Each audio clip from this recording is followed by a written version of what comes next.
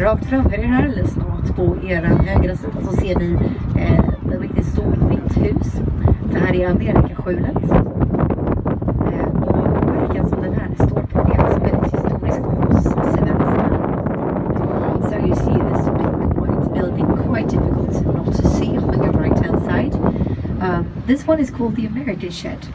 And uh, the ground that the building stands on, it's uh, historical for us Swedish people. Härifrån så lämnade de rikare människorna i Sverige med den här direktlinjen eh, till New York under den senare delen av den här stora migrationen